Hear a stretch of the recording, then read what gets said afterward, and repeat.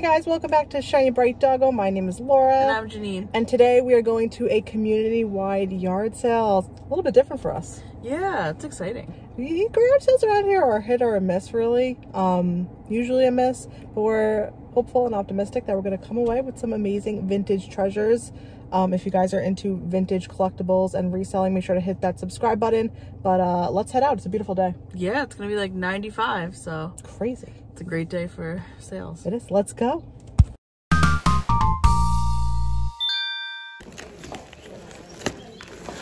Laminated die cuts.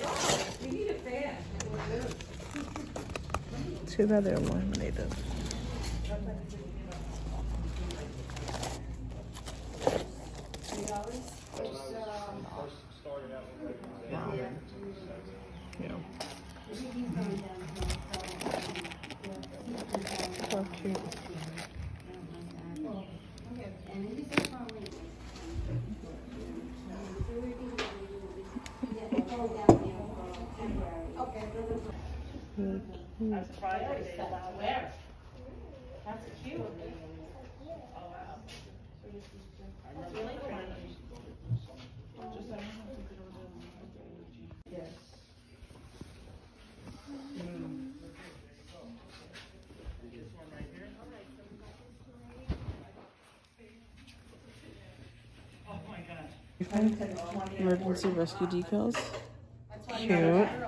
I was Some just thinking microfiber more cloths. microfibers and um, Halloween goodie bag. little witch jiggler.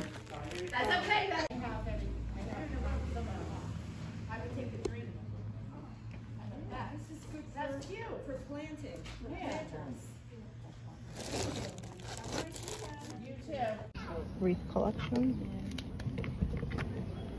Like um, like a, a wreath story. Oh, oh, but it's you know it's a good Christmas That would be- ornament box. That's a good box. For $1.25. Yeah.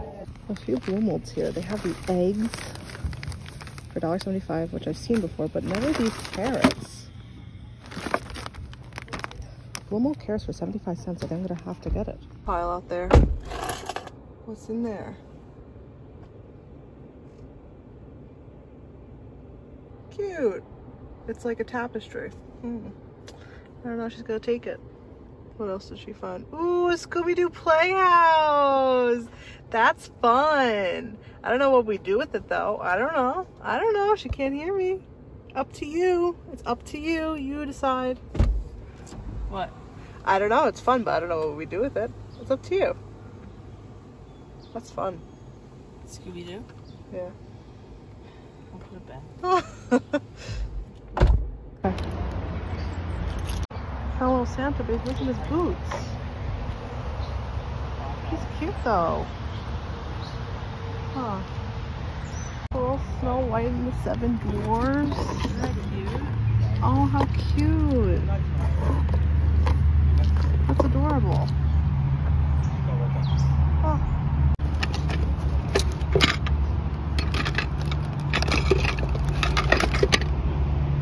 So cute.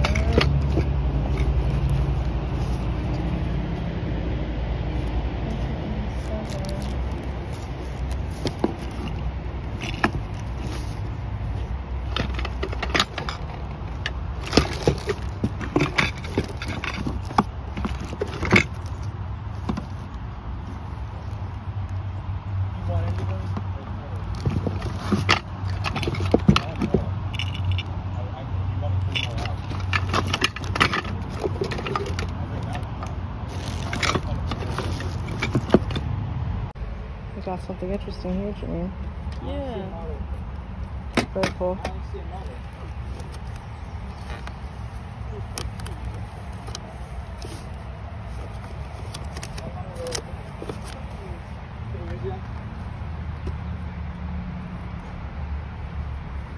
See what Jeannine's picked up so far. Halloween 5. Nightmare on Elm Street. Might need your help. Dead Pit. That's cool. Halloween 3. Okay. So Jeannine got uh, a lot Of of horror. horror VHSs, which we know are very collectible. Seems like they're a lot from like uh, uh, rentals, like movie rental places, but really cool stuff that you don't see every day. So really excited. Yeah. Do you have any in here that you know are like resellers, like good resellers? No, Halloween. I mean, I mean, maybe. Yeah, We'll have to look them up. I mean I know there's a lot of good names in here. Mm. A little dusty, but he hasn't he hasn't watched them in years. I'm sure. Yeah, it was like his collection. He had so many. Wow. Good job, Jeannine. Oh, and we paid um four dollars for all of them. Yeah, I think it's a good deal. Yeah. About to pull up to this house with the pods over here. Um, I think I saw some salt and pepper shakers. I think out of the corner of my eye. So we're gonna go and check it out. And I'm hoping they are there. And I hope I'm hoping that they are uh, actual salt and pepper shakers. Let's go. Oh, they're so cute. How adorable. Little snowmen. And Mr. and Mrs. Claus. And the turkeys, gonna have to get them all. The fish are cute too. Huh. Where? The mushroom? Yeah. Okay, I'm gonna put the phone down so I can take these. Okay, so finding vintage ceramic salt and pepper shakers like that is a first for us at a garage sale, so I'm very, very excited. What do you think, Jeannine? Cool. That was a find, wasn't it? Yeah, look at a little baggie of them. So we're heading to this garage sale right here for listing. So there's a lot of vintage stuff, but we're pretty late to the game. It's like 12 o'clock now, so we'll have to see.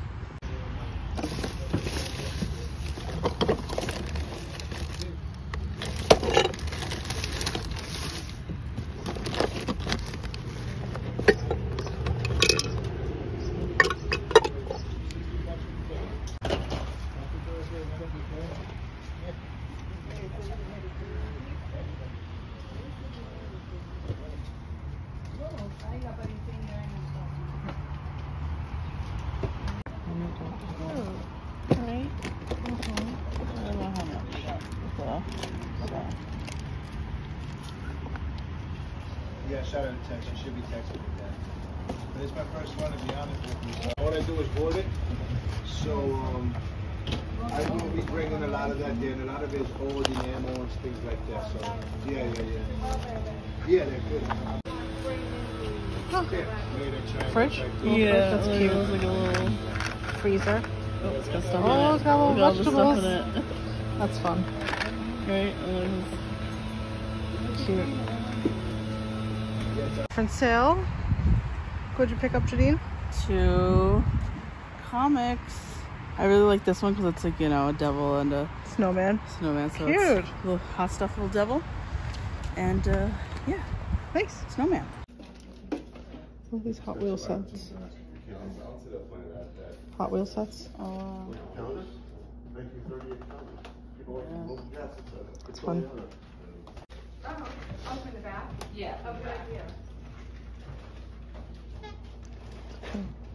Got some swizzle sticks. What? What? the ice crusher. Remember we Oh, talked the about ice it? crusher with the little snowflakes. Love it. What is this? It's like plastic. Huh. Made in Hong Kong. Different. Oh, trying to be a whole tower, but not really. It's by Rita. Not really doing so well. Hmm. What is that? Oh, that's cool. Isn't that cool? What is it? Like it's a, a light and a blower. A light and a blower. That's cool. Different. Very cool. Very mm -hmm. cool. Mm -hmm.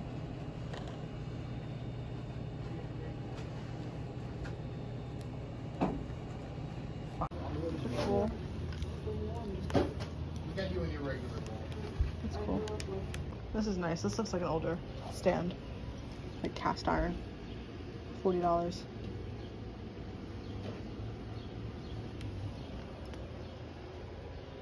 We're in this garage.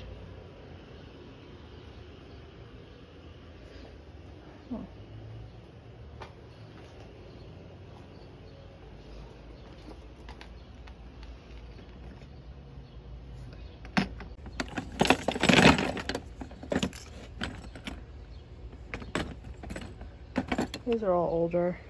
This one has a plastic cap and it says West Germany. Probably right from after World War II.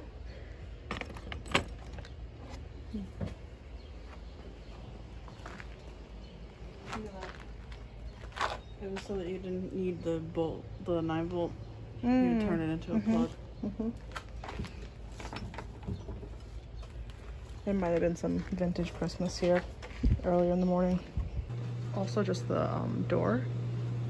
Love it. Hey guys, so Jeannine's not with me right now because she is getting together our vintage magnets for our Whatnot sale tomorrow. If you guys don't know, we are having a Whatnot sale tomorrow and we are selling off like 95% of those vintage magnets we found. So if you want more info, make sure to check out the description in this video. We'll have a link to Whatnot, how to sign up, and um, we hope to see you there. But let's dive into the mini haul. We don't have a ton of stuff. Um, Jeannine did pick up all those amazing horror VHS tapes that she's going to go through and definitely give us an update on what they're worth. I don't know. If you guys recognize any of them and know if they have a good resale value, definitely leave a comment.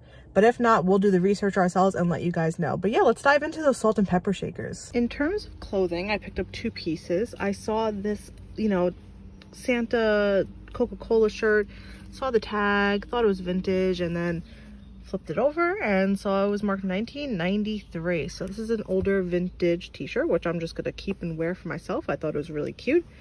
I also picked up this really cute like vintage 80s 90s floral tank top which I thought was super cute would look really cute with some like jean shorts and the clothing at this garage sale was really cheap this was only like I don't know 75 cents or something and the t-shirts were only 25 cents so that is a bargain.